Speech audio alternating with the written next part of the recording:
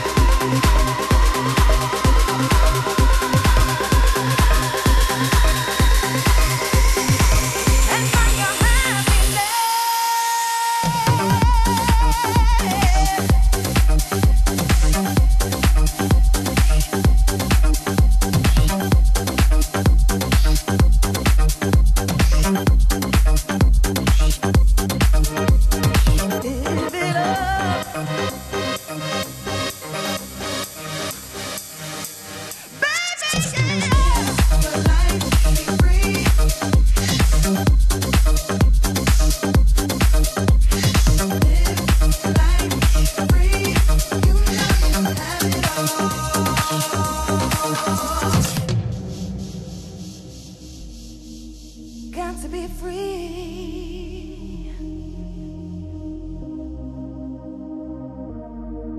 Gotta be free. Sometimes you just need to let go.